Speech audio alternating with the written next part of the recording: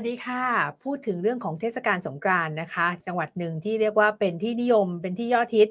ในเรื่องของการเล่นสงกรานต์นะคะ นั่นก็คือจังหวัดขอนแก่นค่ะ เดี๋ยววันนี้เราไปดูกันว่า สงกรานต์ปีนี้เขามีอะไรดีกันบ้างนะคะ ไปพบกับท่านรองผู้ว่าราชการจังหวัดขอนแก่น คุณชาญชัยสอนศรีวิชัยค่ะท่านรองอยู่กับเราแล้ว สวัสดีค่ะท่านรองค่ะครับ สวัสดีครับ สวัสดีค่ะ คงต้องเรียนถามเลยค่ะสำหรับสงกรานต์ในปีนี้ที่จังหวัดขอนแก่นนั้น มีอะไรที่โดดเด่น หรือว่าแตกต่างไปจากเดิมๆบ้างคะท่านรองค่ะเอ่อปีนี้นอกจากที่เราทราบกันดีนะครับว่าเอ่อที่ถนนข้าวเหนียว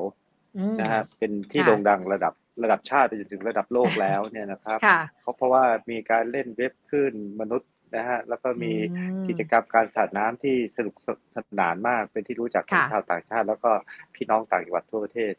เอ่อในปีนี้เรามีกิจกรรมในเชิงวัฒนธรรมอีกก็คือเป็นเชิงสงกรารเชิงวัฒนธรรมที่บริเวณหน้าอืมสารกลางจังหวัดครับค่ะก็จะเริ่มตั้งแต่ช่วงวันที่ 12 จนถึงวันที่ 16 ครับค่ะค่ะนะครับ ส่วนข้าวข้าวเหนียวนี่เริ่ม 10 11 เลยโอ้เริ่มนะครับก่อนเลยนะคะ ครับครับเริ่มก่อนข้าวเหนียวเริ่มก่อนค่ะ นะครับ ก็ก็ก็ถ้าเกิดใครมาเที่ยวแบบปู่ย่าตายายลักษณะของแฟมิลี่ลูกหลานนี่ก็อืมไปตรงหน้าสารกลางนะครับค่ะมีการอ่าเราเล่นพื้นเมือง มีการลำฟ้อน มีหมอลำแบบพื้นเมือง มีอืมการก่อเจดีย์ทรายอันนี้เป็นแบบนั้น แต่ถ้าค่ะเป็นแบบร่วมสมัยเป็นแบบวัยรุ่นที่ชอบกันนะฮะก็ค่ะบริเวณถนนข้าวเหนียวครับอ๋อก็คือแยกการถ้าครับเป็นศิลปะวัฒนธรรมที่บอกว่าเป็นวิถีไทยบ้านขอนแก่นเนี่ยต รงบริเวณครับหน้าสารกลาง ซึ่งตรงนั้นเห็นว่าถูกครับเรียกว่าเฮือนโบราณทำไมเรียกเฮือนโบใช่ราณตรงนั้นคะใช่ครับ เพราะว่าทางจังหวัดโดยท่านผู้ว่าราชการจังหวัดเนี่ยท่านมีค่ะดำรินะครับ เพราะว่าอ่าขอนแก่นเนี่ยเราอยากมีค่ะสถานที่ท่องเที่ยวแหล่งใหม่ๆ ไว้ต้อนรับพี่น้องอืมประชาชนนะฮะเวลามาค่ะเที่ยวขอนแก่นนะครับค่ะเพื่อจะได้ง่ายต่อการเยี่ยมชมนะครับ ตรงนั้นอืมก็เลยขอความร่วมมือจากพี่น้อง 26 อำเภอค่ะ มาสร้างบ้านเป็นบ้านแบบเรือนโบราณเป็นบ้านไม้วิธีไทยอ๋อวิธีไทยค่ะครับค่ะก็เปิดมาตั้งแต่ประมาณ5เดือนที่แล้ว ก็ตั้งแต่อืมงานใหม่ ก็มีคนมาเที่ยวกันค่ะหลักล้านหลักล้านแล้วโอ้โหนะฮะก็ครับก็จะมีกิจกรรมอยู่เรื่อยๆ ในตัวบ้านค่ะก็จะมีการนำสินค้ามาขายอ๋อนะฮะเป็นสินค้าของเพื่อช่วยพี่น้องชาวชาวบ้านจาก 26 อำเภอครับ อ๋อ ค่ะ ก็คือครับเป็นครับเหมือนแบบ บ้านหนึ่งก็เป็นอำเภอหนึ่งอย่างนั้นเลยไหมคะยี่สิบหกถูกที่ยี่สิบหกอำเภอถูกครับอ๋อถูกครับถูกค่ะครับค่ะ เห็นบอกว่าในงานนี้ก็มีการนำน้ำศักดิ์สิทธิ์จากทั้ง26อำเภอเนี่ยมารวมเป็นน้ำมนต์ด้วยใช่ไหมคะใช่ครับก็จะมีพระทั้งพระพุทธรูปศักดิ์สิทธิ์แล้วก็ค่ะน้ำศักดิ์สิทธิ์นะครับ ก็มานะครับในวันดังกล่าวแล้วเราก็จะมีอ่าเอาน้ำดังกล่าวเนี่ยนะครับ มามาลดนะครับอ่าค่ะอ่าพระพุทธรูป นะครับ พระพุทธรูปที่สำคัญที่สำคัญจากทั่วจังหวัดขอนแก่นนะครับอืมแล้วก็นะครับก็มีพระสงฆ์ผู้สูงอายุนะครับ อันนี้จะค่ะเริ่มวันที่สิบสองมีอืมจะมีขค่ะบวน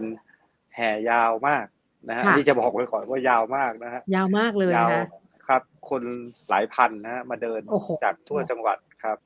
ค่ะครับเป็นเชิงเป็นเชิงวัฒนธรรมแต่งกายประจำถิ่นครับ อืมนะคค่ะรับมีสิบสองครับเมษาใช่ไหมคะ เริ่มกันตั้งแต่กี่โมงคะท่านรองคะอ่า จะเริ่มพิธีสงฆ์เนี่ย เพื่อความค่ะเป็นสิริมงคล เพราะว่าเราทำบุญเหมือนทำบุญให้กับผู้มีบุอืมบุอ่าบรรพชนของเราของขอนค่ะแก่นด้วยบรรพบุรุษนะครับของขก็อนแก่นอืมใช่ฮะก็จะเริ่มในช่วงประมาณ 16นาฬิกาครับอ๋อ16ค่ะนาฬิกาค่ะครับ จากนั้นเนี่ยอ่าก็จะเริ่มไปเรื่อยๆ แล้วจะถึงช่วงการแสดงของแต่ละคืนนี่ก็ประมาณอืมอ่า หกโมงเย็นทุ่มหนึ่งก็จะเริ่มแสดงครับ อืมครัค่ะครับค่ะเป็นเชิงวัฒนธรรมครับ แต่ว่าขบวนแห่นี้จะมีวันเดียวก็คือวันที่สิบสองวันเดียวใช่ไหมคะท่านรองคะใช่ใช่ครับ แต่อืมแต่กิจกรรมยังอยู่นะฮะกิจกรรมมีจะตลอดารแสงอยู่อืมครับมีสินค้ามาจำหน่ายตลอดครับ ค่ะ แล้วก็มีการแสดงในช่วงกลางคืนเป็นการละเล่นต่างๆ ด้วยมีไหมครัคะบมีทั้งหมอลำมีทั้งอะไรต่างๆ เยอะเลยใช่ใช่ครับ ใช่ครับอืมก็จะมีมามีหมอลำระดับเอ่อ ผู้มีชื่อเสียงเยอะแยะ แต่อืมผมพอค่ะดีไม่ได้เอาชื่อมานะไม่เป็นไรค่ะ ไม่เป็นไรค่ะครับค่ะครับก็ครับเห็นในภาพนี้เป็นภาพงานแถลงข่าวมีดอกไม้ที่ห้อยย้อยลงมานี่คือเรียกว่าดอกอะไรนะคะ ดอก ดอกสะแบงครับ ดอกสะแบดองกสะบานครับครับ ดอกสะแบงจะเป็นเอ่อสายพันธุ์เดียวกับพวกยางนะฮะสายพันธุ์เนี้ยนะฮะคค่ะรับก็แต่อันนี้จะดอกเล็กกว่าดอกยาง แล้วค่ะก็จะจะออกช่วงปลายเดือนกุมภาพันธ์ นะครับ ดอกจะเป็นสีแดงเหมือนที่เห็นในรูปค่ะนะฮะก็แล้วก็สวยเลยเราใช่ฮะเราขอความร่วมมือพี่น้องจากทุกหมู่บ้านทั่วจังหวัดค่ะนะครับค่ะมามาช่วยกันร้อยแล้วเราก็เอาอืมรวมใจกัน แล้วเอาดอกเหล่านั้นเนี่ยค่ะมาจัดเป็นเหมือนที่เห็นนี่นะครับนะครับอืมเป็นซุ้มค่ะดอกแสดง อันนี้ทั้งหมดห้าล้านดอก โอ้โหห้าห้าห้าล้านดอกนะครับค่ะมาจากที่สิบค่ะหกอำเภอเป็นการรวมใจอืมของพี่น้องกันนะฮะดอกค่ะแสดงเนี่ย นะครับ ก็เป็นดอกไม้ที่เอ่อเป็นที่รู้จักของพี่น้องเป็นดอกไม้ชาวขพื้นแก่ถิ่นขึ้นง่ายใช่ๆอยู่ตามใช่ทุกที่ทุกแห่งของครับจังหวัดเลยใช่ไหมคะครับต้นใหญ่นะฮะ ต้นใหญ่อืมแล้วก็จะออกดอกในในในช่วงหน้าแล้งค่ะครับมีเพลงมีเพลงเกี่ยวกับดอกแสดงหลายเพลงอืมนะครับ แต่ว่าจริง ๆ แล้วเนี่ยเขาไม่ได้เป็นเป็นพวงยาวอย่างนี้ แต่นี่คือนำมาร้อย แล้วก็แขวนถูกครับให้มันเกิดความสวยงามมากขึ้นอืมใช่ครับใช่ครับค่ะใช่ แล้วครัท่านบรองคะอย่างนี้มันจะอยู่ทนไปจนถึงช่วงที่เป็นช่วงสงกรานต์อ่าเลยไหมคะ อยู่ทนฮะ อยู่ทนอืมถ้าค่ะถ้าไม่กระทบกระทั่งอะไรเนี่ย จริง ๆเขาบอกว่าอยู่ได้เป็นปีโอ้แต่เอทีอเนี้ยนะผมผมผมก็จะเอาไว้ประมาณเดือนหนึ่งอ๋อนะฮะก็ก็โอ้จะอยู่ไว้ด้ประนนมาณสักเดือนหนึ่งค่ะรับครับ ก็สวยก็งาต้มองรีบเลยตอนนี้ก็มีคนมาถ่ายรูปเป็นก่อนงานเยอะแยะเลยอ๋อนะฮะครับค่ะมาครับครับ แล้วก็ตอนกลางคืนเราจะติดอ่าแสงไฟ นะครับมเพื่อให้แสงสีมันเกิดการย้อมการเล่นสีด้วยก็คือมีความแตกต่างตอนกลางวันก็จะสวยแบบนึงใช่กลางคืนก็จะสวยเพิ่มด้วยการมีไลติ้งเพิ่มเติมอ๋อใช่ครับนะคะค่ะทีนี้พูดถึงเรื่องของการแสดงเรื่องของความสนุกสนานไปแล้ว เราอาจจะต้องมาพูดถึงเรื่องของความปลอดภัยด้วยเหมือนกันใช่ไหมคะเพราะว่าครับไม่ใช่ไม่ครับไม่ว่าจะเป็นช่วงปีใหม่ หรือว่าเป็นช่วงสงกรานต์เนี่ย เรื่องของการครับลดอุบัติเหตุก็ต้องมา เป็นจุดที่จะต้องเฝ้าระวังคงต้องเรียนถามท่านรองว่าเรามีมาตรการอะไรยังไงคะ ในเรื่องของการดูแลเรื่องอุบัติเหตุเนี่ยค่ะขอนแก่นเราค่อนข้างจะเข้มข้นเรื่องนี้นะฮะค่ะเราเราเตรียมการเรื่องนี้มาสองสามเดือนแล้ว ตั้งแต่ปีใหม่อะค่ะนะฮะเพราะว่าเพราะว่าเนื่องจากเอ่อในช่วงสงกรารเนี่ย ขอนแก่นค่ะเป็นมีกิจกรรมที่หลากหลาย อ่า เป็นเมืองมาใหญ่ด้วยมาคนเยอะครับด้วยค่ะใช่แล้วก็ แล้วก็มันจะมีผลกระทบอย่างเช่น ทุกอำเภอก็จัด อันที่อืมสองก็จะมีพี่น้องกลับมาเยี่ยมบ้านอ่านะครับค่ะอ่า แล้วก็แล้วก็เราต้องดูทุกมิตินะครับค่ะแล้วนักท่องเที่ยวจากสถิติด้วยที่มาเที่ยวใช่ขอนแก่นถูกต้องครับ เราดูหมดค่ะเลยฮะ แล้วก็ค่ะเพราะว่าเราต้องเตรียมเตรียมเมืองไว้รับสถานการณ์แบบนี้ค่ะนะครับ แล้วก็เอ่อเนื่องจากปีนี้จากการรายงานเนี่ย อุณหภูมิจะสูงมากยิ่งขึ้นโอ้40ถึง43อันนี้เราโอ้โหเช็คมาตลอดค่ะนะครับ แล้วก็ยิ่งอุณหภูมิสูง คนยิ่งเล่นค่ะน้ำน่าอันนี้ผมจากทีมน่าจะงานเล่นเยอะวิขึ้นจัยใช่ไหมคะคุณหมอค่ะบอกว่าเยอะขึ้นแล้วจะดื่มอืมมากขึ้นอ้าวตอนนี้ที่ที่เราประชุมกันเนี่ยค่ะเราประชุมกันเนี่ยจากสถิติเดิมเนี่ยค่ะนะฮะของเราเฉลี่ยแล้วเนี่ยอ่าอันนี้ไม่ต้องนับช่วงสงกรารนะฮะค่ะอุบัติเหตุจากเอ่อที่เสียชีวิตจากอุบัติเหตุเนี่ยตายวันละคนโอ้ ตายวันละคนโอ้นะเพราะฉะนั้นเราเราถือว่าเรื่องนี้เป็นเรื่องใหญ่ค่ะนะครับค่ะเดี๋ยวเดี๋ยวค่ะเดี๋ยวจะเล่าให้ฟังว่าเราอะไรบ้างแต่ว่าเดี๋ยวของสงกรารที่จะเล่าให้ฟังเฉพาะช่วงสงกรารก่อนอ่าได้สงกรารค่ะเนี่ย เราประชุมกับคุณหมอวิทยาโทษนะที่ที่ทำเกี่ยวกับเรื่อง ชาติบัญชาชัยอ่อุบัติภัโดยค่ะเฉพาะครับเราครับสัมภาษณ์ท่านบ่อยค่ะ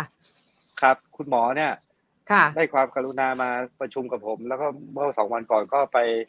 เปิดงานกันด้วยด้วยกันเนี่ยค่ะ ก็เรามีความเห็นตรงกันค่ะจับเยอะตายน้อยอ่าถูกจับเลยจับค่ะจับเยอะตายจับน้อยก่อนเลยจับใช่ไหมอยคะใช่ถูกครับไม่ต้องพูดแล้ว ผมจับอย่างเดียว อันนี้ประกาศเลยคอนแทคค่ะจะจับนะครับค่ะใครดื้อเนี่ย จับอย่างเดียวครับ ค่ะ ไปไปแบบไปเฝ้ารอหน้างานเลยไหมคะงานไหนที่มีแบบว่า จัดคนไอ้เยปอะระๆเภทนี่คือไป ไปดูไว้คือเลย คือทำมาหลายจังหวัดแล้วครับไอ้ค่ะประเภทขอความร่วมมือเนี่ย ไม่ได้ไม่หรอกเคยอืม ไม่เคยเลยเพราะฉะนั้นบอกไว้เลยนะครับ ถ้ามาขอนแก่นเนี่ยท่านเที่ยวให้สนุกโดนจับแต่ถ้าแน่นเมาอนท่านโดนจับแน่นอนโอ้อันนี้ประเด็นประเด็นแรกก่อนนะประเด็นแรกค่ะก่อนเรายืนยันค่ะเราเราจับ ไม่ได้แล้วก็ขู่ไม่ได้ขู่จับแน่นอนนะคะจะบอกว่าขู่ก็ได้ไม่ผมไม่ผมไม่กลัว เพราะว่าถ้าทำผิดกฎหมายผมก็ต้องจับ เพราะถ้าค่ะถ้าเพราะว่ายิ่งท่านเมาแล้ว แต่ถ้าท่านล้มเอง อะไรอ่าเองนี่ท่านก็แย่แล้วนะ แต่ถ้าใช่ท่านใช่ไปทำให้คนอื่นเสียชีวิตเนี่ยค่ะท่านจะมาบอกว่าช่วยไม่ได้ ผมเมาาถ้าตอบอย่างนี้มันก็เป็นไม่คนได้ไม่รับผิดชอบนะ ไม่ได้ค่ะนั้นท่านรู้ว่าเมาแล้วจะเกิดเรื่องก็อย่าเมาดีกว่า หรือถ้าเมาถูกค่ะก็ไม่ต้องขับกรุณาอยู่บ้านก็อืมอยู่ไม่ให้อยู่บ้านนะ บางคนเนี่ยค่ะเมาแต่ให้ แต่ให้เพื่อนขับอ๋ออ่า มันมีแบบนี้ อืมเพราะว่าชาวบ้านเนี่ยไปคิดว่า ไอ้คนขับเนี่ยไม่เมาค่ะไม่เป็นไรกูนั่งอ่ากินข้างๆ อย่างนี้มันค่ะก็ใช้ไม่ได้นะ จับเหมือนกันครับอ๋อจับเหมือนกันนะคะผมโอ้โหจับอันนี้ผิดกฎหมายนะ อันนี้ผิดกฎผิดกฎหมายนะ ค่ะ เออบางบางคนบอกว่าอ้าวตรวจก็ตรวจเฉพาะคนไม่ใช่คนคุณขับดื่มเหล้าสิบนรถเนี่ยผิดกฎหมาย ผิดกฎหมายนะผมผมยืนค่ะยัน ค่ะ อ่า อ่า ก็ก็ก็ก็เรียนให้ทราบประเด็นนี้ก่อนอืมประเด็นต่อมาก็คือว่าค่ะเอ่อนอกจากจับ ปกติแล้วเนี่ยหากพบว่าเป็นข้าราชการ หรือโอ้คนมีตำแหน่งเนี่ย เราจะดำเนินการทางวินัยด้วย โอ้ค่ะค่ะ ไม่ละเว้นไม่ค่ะมีการมาขอมาขอการยิ่งเบ่งนี่ยิ่งชอบ แทนแทนที่จะว่าว่าโอ้ยไม่เป็นไรฉันเป็นข้าราชการเดี๋ยวเขาบอกขอให้ตำรวจปล่อยผ่าน อันนี้โดนวินัยด้วยเลยใช่ไหมคะใช่ก็ลองดูเลยครับ จะเอาให้ได้ให้ให้ เป็นตัวอย่างเลย อืม ไม่ไม่ยอมหรอกไม่ยอมค่ะ เด็ดขาด ไม่ยอมค่ะ เด็ดขาดนะฮะอ๋อก็ก็ก็ถ้าถ้าอย่างนั้นนะจะให้สังคมตัดสินเลยล่ะอืถ้ามาดราม่ามาเบ่งมาเบ่งกันเนี่ย ค่ะ นะอ่าค่ะก็ก็ก็ลองดูถ้าอยากจะค่ะ เบ่งเพราะตัวเองเมาเนี่ยค่ะ นะฮะ อันนี้เรียนว่าน่าจะทำให้รู้สึกว่าคนน่าจะเกรงนะคะ มากขึ้นว่ามีการควบคุมอย่างจริงจังอันนี้เห็นบอกว่า เรื่องของการสวมหมวกนิรภัยจะให้เป็นร้อยเปอร์เซ็นต์เนี่ยค่ะ ท่านรองคะตรงนี้นี่เราจะทำยังไงให้เป็นร้อยเปอร์เซ็นได้ คือเรื่องนี้สืบเนื่องมาจากคุณหมอวิทยานี่แหละนะฮะค่ะกับกับท่านกับท่านผู้ว่าไกรสอนกองฉลาดเนี่ยค่ะคือเดิมเนี่ย ผมก็เพิ่งย้ายมาขอนแก่นนะฮะก็จะบอกว่าค่ะก็ก็ก็จะบอกก็ก็จะบอกว่าประเด็นเนี้ยค่ะผมก็เพิ่งทราบว่าจังหวัดขอนแก่นเนี่ยเขาเขาถือเป็นต้นกำเนิดของเอ่อการรณรงค์เอ่อใช่ สวมหมวกกันน็อกค่ะเป็นแห่งแรกของประเทศไทยคราวนี้ใช่ประเด็นค่ะก็คือว่าล่าสุดเนี่ยเขาดูค่ะสถิติเนี่ย มันสวมกันประมาณยี่สิบแปดเปอร์เซ็นต์หรือไงเนี่ยแหละหรือยี่สิบสองเปอร์เซ็นต์ค่ะนะครับคราวเนี้ยมันไม่ยากครับคราวนี้อืมประเด็นก็คือ ตอนนี้เราจะเริ่มทีละสเต็ปก่อนอืมตอนนี้ผมผมกำลังพอดีผมดูแลภาคอุตสาหกรรมด้วย ก็ค่ะจะเอาภาคภาคอุตสาหกรรมเนี่ย เพราะว่าตอนเนี้ยค่ะมี ภาคอุตสาหกรรมหลายที่ว่าถ้าพนักงานไม่สวมหมวกเนี่ยอืมเขาจะบังเขาเขาบังคับเลยค่ะเขาบังคับเลย เพราะในอดีตเนี่ยเราทำแบบนี้มานะแบบประค่ะเภทรณรงค์ขนาดซื้อให้เนี่ย ก็ยังไม่ใส่เขาก็ยังเอาไปสไม่ใส่เอาไปใส่ไว้ในตะกร้ารถอ่าอย่างเงี้ยค่ะเพราฉนั้นอันนี้ อันนี้ไม่บอกอ้าวถ้าอยากให้ใส่ก็ซื้อมาให้ ไม่ต้องอืมแล้วอันนี้หน้าที่คุณแล้วอืมมันหมดมันผมเรามีองหน้าที่อย่งะในจับอย่างเดียวแล้วใช่ไหมคะคือ ก็ต้องมีทั้งทั้งสองรูปแบบแหละฮะ แต่ว่าก็ขนาดปกป้อนให้ยังไม่เอาเนี่ยอืมมันก็ถูกไหมฮะเห็นค่ะ ผมผมก็เห็นเนี่ยขี่รถกันเนี่ยนะฮะแล้วเวลาไปจับก็ไปว่าเขาอืมนะฮะเออแล้วเวลาพอเกิดเรื่องตัวเองรับข่าวทางโซเชียลก็ว่าทำไมตำรวจไม่จับอ้าวอ่าอ่าตำรวจก็นี่เป็แหนละจำเลยคือปัญหา นี่แหละคือปัญหาครับฮะฮะ ก็เลยสงสัยว่าแล้วก็เอ๊ะแล้วอย่างนั้นเนี่ยอืมการที่เราจะทำให้มันเป็นร้อยเปอร์เซ็นเนี่ยมันจะต้องคือเข้าไปในทุกจุดต่างๆขอขอความร่วมมือกับเอกชนที่เป็นบริษัทภาคอุตสาหกรรม โรงเรียนทุกที่อย่างนั้นเลยใช่ไหมคะท่านรองคะคือโดยหลักคุณต้องใส่อยู่แล้ว อืมประเด็นค่ที่หนึ่งก่อนคุณค่ะนะสองถ้าคุณเป็นผู้บริหารบริษัท คุณเป็นผู้บริหารอะไรก็ตามเนี่ยค่ะแต่คุณยังมาบอกว่า เอ้ยเราปฏิประนอมกัน มันไม่มีคำว่าปฏิประนอมนะอืมกฎหมายอะ ค่ะอ่าเพราะฉะนั้นเพียงแต่ว่าคุณจะต้องมาร่วมกันรณรงค์ใช่ไหมฮะท่านต้องค่ะให้ความร่วมมือกับกฎหมาย เพราะค่ะนี่เป็นเรื่องกฎหมายในการรักษาคนของคุณนะอืมมันไม่ใช่ว่า ผมมารณรงค์เพื่อให้ผู้ว่าได้ความดังอะไรไม่ใช่อืมคนละเรื่องกันค่ะและอีกเรื่องหนึ่งจะประกาศเป็นร้อยเปอร์เซ็นเนี่ย ค่ะ อันนี้ความเห็นผมนะ ค่ะ ผมไม่ผมไม่ประกาศอะทำก่อนอืมทำทำให้เห็นทำทำให้แล้วเห็นเป็นที่ประจักษ์ ใช่แล้วก็ทำไปเรื่อยๆนี่แหละ แล้วเราก็ค่ะดูยอดที่ว่ามันเพิ่มขึ้นไหมอืใช่ไหมฮะค่ะสมัยก่อนเราเราชอบเอาผู้ว่าไปปล่อยแถวใส่หมวก แล้วก็บอกเราร้อยเปอร์เซ็นแล้วอ๋อพอออกจากพอพอออกจากงานมาก็เห็นมันขี่รถกลับบ้านไม่ใส่หมวกกันน็อกไอ้ไอ้อย่างนี้ไม่ อันนี้ผมผมไม่ทำนะค่ะเออค่ะผมไม่ทำค่ะเออก็ทำคือเราทำงานเถอะ แล้วเราก็ลองดูที่ว่า เออ ถ้าโรงงานเนี้ย เขาทำได้สักสองพันคนอืมก็โอเคนะค่ะก็อย่างน้อยก็มีก็มีสองพันศีรษะที่อาจจะไม่กระทบกระเทือนอืมเออเพราะว่าเนี่ยที่นี่เราก็มีภาคีของเราหลายโรงงานค่ะที่เขายินดี วันเนี้ยผมก็ประสานไปสิบเจ็ดโรงงานแล้วโอ้น่าจะหมื่ค่ะนหมื่นกว่าโอ้เออแต่อย่างเงี้ยค่ะผม ผมว่าเราทำก่อนแล้วค่อยมาพูด อืมค่ะเราลองทำก่อนให้เห็นผลก่อนใช่ไหมคะ ใช่อย่างน้อยจนผมผมผมทำได้โรงงานนี้ห้าสิบครึ่งเนี่ย อืมโอเคนะ ค่ะ ใช่ไหมค่ะแต่ถ้าเกิด ถ้าเกิดไม่ทำเลย แล้วก็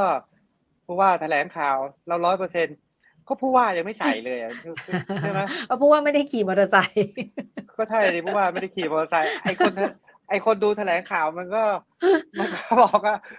คุณก็พูดได้เพราะคุณไม่ได้ใส่ อืใช่ไหมมันต้อง ค่ะ มันก็ต้องเอาไอ้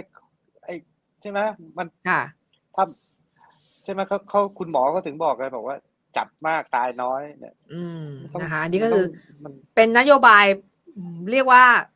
หลักเลยสำหรับเรื่องของการลดอุบัติเหตุที่ขอนแก่นในช่วงของเทศกาลสงกรานต์นี้คือให้จับให้เยอะจับก่อนก่อนที่จะเกิดเหตุ ใช่อืมใช่จำได้ไหมนะคะปีก่อนๆเนี่ยค่ะเอ่อที่เราขอความร่วมมือ ค่ะ ถ้าผัว ถ้าผัวเมาค่ะให้เมียยึดกุญแจเคยได้ยินอ่าไหมอ่าเรื่องอ่านี้ได้ยินได้ยินได้ยินจำได้ได้ยินใช่ไหมได้ยินค่ะได้ที่ยินไหนได้ยินเออ ที่ไหนได้เมียตัวดีเมียไปก่อนแล้วอ้าวเออกลายเป็นว่าไปทั้งสามีและภรรยาทั้งผัวทั้งเมีย เอออะไรจำได้ไหมที่ว่าลูมัวแต่รณรงค์วัยรุ่นอะ ค่ะและไอ้ปครานกฏที่ว่าชอบเมาเมาแล้วออกอะ สูงวัยคือทั้งนั้นอะหกหกสิบห้าเจ็ดสิบนี่ล่าสุเป็ดนที่อำเภออะไรไม่รู้เจ็ดสิบห้าเป็นเนี่ยเป็นคุณลุงนะคะเป็นคุณลุงนะคะใช่เมาแล้วชอบสตาร์ทรถเนี่ยอืมนะค่ะค่ะ แล้วท่านข้อมูลท่านขอนแก่นที่น่าตกใจเนี่ยนะจะค่ะบอกเรื่องหนึ่งค่ะไม่ใช่ถนนใหญ่นะถนนส่วนใหญ่ไอ้ก็ที่จะเป็นซอยเล็กใช่ไหมคะ